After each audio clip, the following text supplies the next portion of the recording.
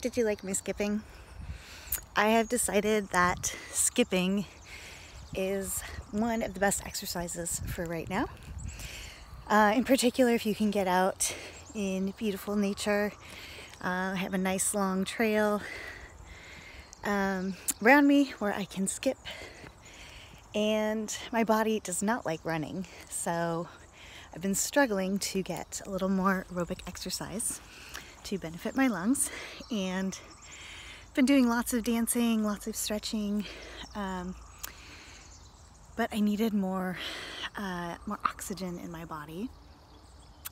And so I decided to try skipping again, which I hadn't done in a number of years. I used to practice a lot with my kids because it's a great crossbody exercise. Um, it wakes up both hemispheres of the brain.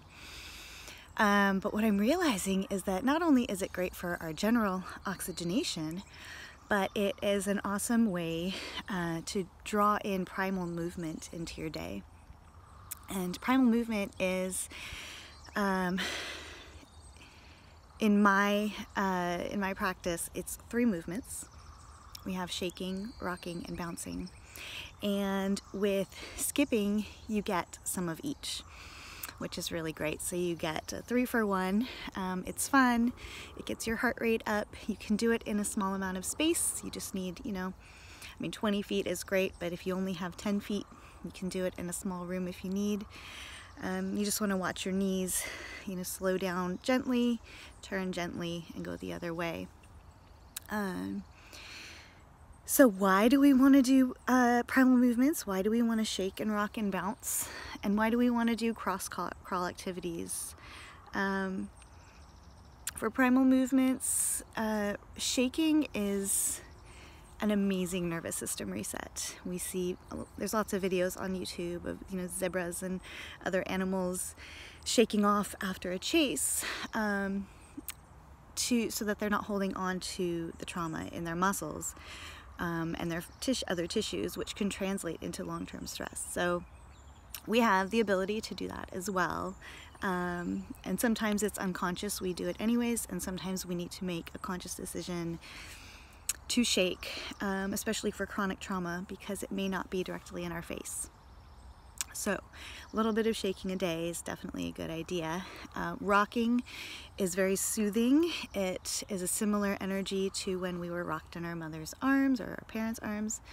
And um, so it's a self-soothing technique and it can be a little faster um, which gets us more into sensual and sexual territory, or it can be slower like you would in a rocking chair. And so when you skip, you of course can control how fast or slow you go, but you are getting a bit of a forward and back rocking motion as well. Finally, bouncing. Um, and I should go back a step and say that each of these movements activate our organs, our internal organs, in a different way as well. Um, for shaking, it's more side to side motion, so you are activating the side walls of our organs. Um, for rocking, you're activating front and back and for bouncing you're activating top and bottom.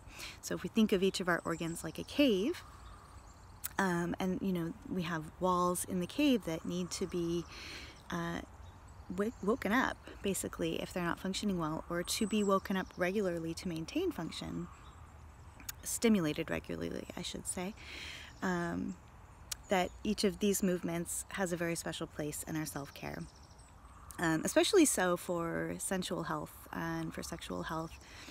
Um, we don't typically get a lot of motion in our pelvis. Um, most people, most Westerners especially, have very limited motion in their pelvis unless you're doing a lot of yoga or belly dance, things like that.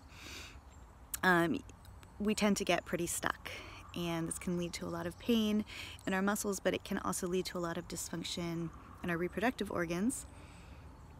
And also in our uh, intestines, leading to a lot of gas and bloating, menstrual issues, prostate issues as we age.